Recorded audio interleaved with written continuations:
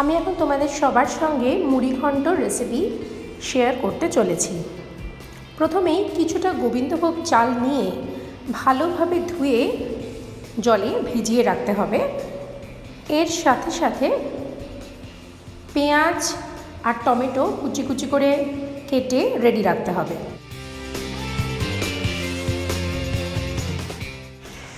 গোটা গরম মশলা, তেজপাতা, শুকনো লঙ্কা আর গোটা জিরে রেডি রাখতে হবে।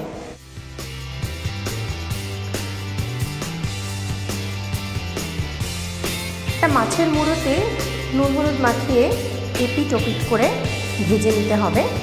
মাছের মুড়োটা ভালোভাবে ভাজা হয়ে গেলে আমি তারপরে গোটা গরম মশলা যেটা রেডি করে রেখেছিলাম, সেটা আমি এবার মাছটা তুলে নিয়ে গরম তেলের মধ্যে দিয়ে দিলাম। মশলাটা ভাজা ভাজা হয়ে গেলে তাতে পেঁয়াজ কুচি অ্যাড করলাম। পেঁয়াজটাকে হালকা করে ভেজে নিতে হবে। একটু হালকা গোল্ডেন ব্রাউন কালার চলে আসলে আমি তারপর তাতে টমেটো কুচি অ্যাড করে দেব।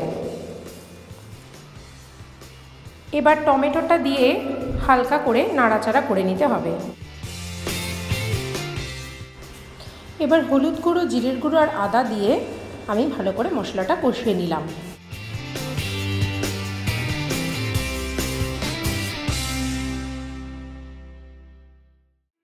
প্যারালালি আমি গোবিন্দভোগ চালটাকে তুলে নিলাম জল থেকে। এবার মশলাটা কষানো হয়ে গেলে আমি চালটাকে আস্তে আস্তে মশলার মধ্যে অ্যাড করে দিলাম।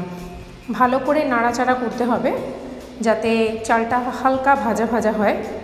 এবার চালটা কিছুটা ফ্রাই হয়ে এলে আমি আগের থেকে ভেজে রাখা যে মাছের মুড়োটা ছিল, সেটা আমি এবার আস্তে আস্তে চালের সঙ্গে অ্যাড করে দেবো।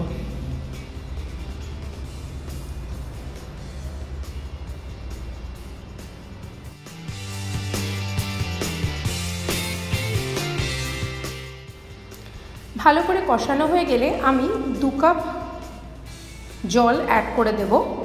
এই জলের মধ্যেই রাইসটা সেদ্ধ হতে থাকবে। লিড আটকে দিলাম, দিয়ে পনেরো মিনিট আমি রাইসটা সেদ্ধ হতে দেব। মাঝে মাঝে একটু নাড়াচাড়া করে নিতে হবে। টেন ফিফটিন মিনিটস রাইসটাকে বয়েল হতে দিলে জলটা শুকিয়ে আসবে। ব্যাস মুড়ি ঘন্ট রেডি।